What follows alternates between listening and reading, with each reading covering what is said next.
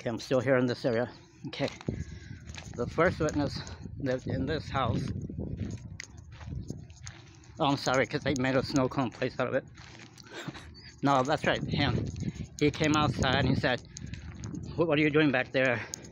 The man told him, uh, with my son, we were finding a place to go pee. He went back inside. He took that damn bullshit story. Fucking asshole. Well, anyway, we ended up going in here. And he kind of peed, but didn't.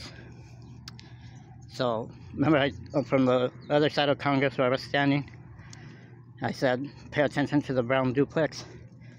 From the front of the store, we walked this way, and he kept saying, I have a boner. I have a boner. Well, of course, I didn't know what the hell that was. We came through here, and we came this way. That's when the man came out. Then we went in there, and I had my damn bike, and nobody saw anything. Bullshit. So anyways, Tucson, Arizona, my home birth town.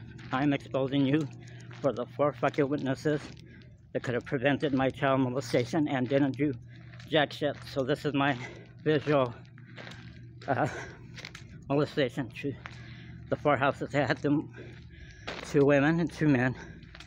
Some of the bitches not protect the little child from being harmed. And Tucson, Arizona, you are accountable for having residents in my neighborhood where I should have felt safe and didn't. Fuck you. But you're never gonna chase me out of my hometown of Tucson, Arizona, because you can all suck, kiss, and suck my dick. Okay.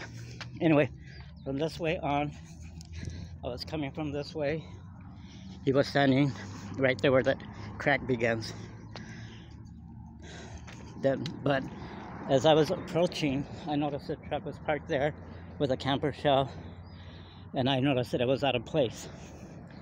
I see this tall man with blonde hair, blonde mustache, blue eyes, white skin, of course, because he was Caucasian. He was wearing a white t-shirt, Levi's, light brown hiking boots. The right boot was untied.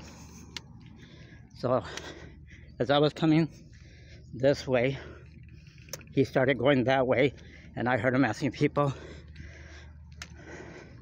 have you seen a little black puppy?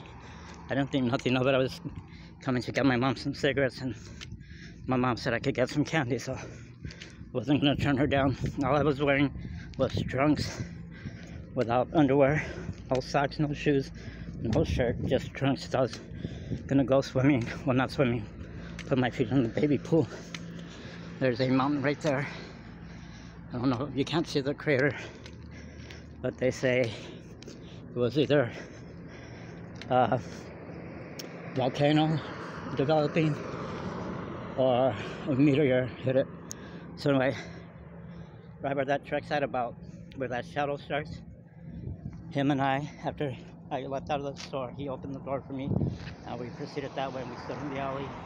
He said, wait here. He went, lifted the hatchback window with four numbers on it. I will not say the numbers that were back there, but I remember them. And then I, he went. The bus, city bus had stopped. I guess so, where that stop is at. And uh, he told me, you see that woman with the hat? Do you know why she's limping? I said, no. And he said, see that man behind her that's trying to catch up? I was looking for my puppy here. And I heard noises thinking it was my puppy. And that man was fucking her real hard on the mattress. So, by the, these four witnesses, again, he and I gave God a free porn show. That's my issue with God's shoe. As I was saying, after it happened, I went home, sat on the carport. I never told anybody. So from the ages of 9 to 21, and finally at 21, I was broke, broke down crying. And my dad said, what's the matter? I said, a man harmed me when I was 9 years old. And he told me, why didn't you ever tell me I would have looked for the son of a bitch and shoot him dead? But say from age 9 to age 21, I never went to counseling because nobody knew but him and I and God. So that's my issue with God. That's the reason why I'm not very religious either. I wanted to do the church and everything, but right now this is too much for me and I want to get home because uh, I'm trembling too much. All right. Thanks for tagging along, Populators and Rose. Okay. Wish me luck to get home safe in the right frame of mind. Okay, thank you all for watching. Bye.